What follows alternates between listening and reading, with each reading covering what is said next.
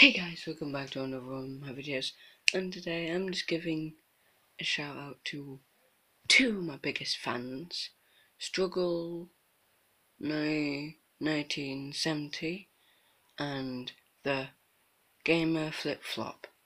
Thank you guys for being my biggest fans, and um, the merch that that you guys are waiting for um, I'm gonna give you guys um this merch for free, for free. Um, and also this merch, this new merch that I um just just got. I've got bigger sizes, but